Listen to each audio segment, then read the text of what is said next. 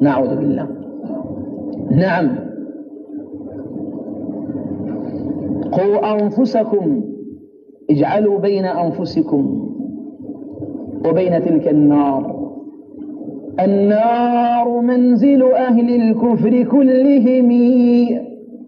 طباقها سبعة مسودة, مسودة الحفر.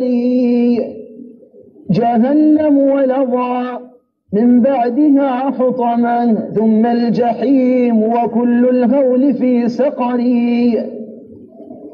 وبعد ذاك سعير ثم هاوية تهوي بهم أبدا في حر مستعر.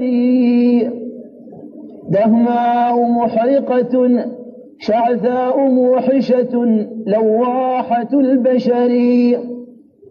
فيها العقارب والحيات قد جمعت جلودهم كالبغال الدهم والحمر.